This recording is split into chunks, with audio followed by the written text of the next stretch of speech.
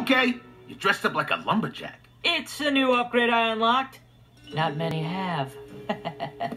How'd you pay for that gear? Donnie, how'd you pay for that gear?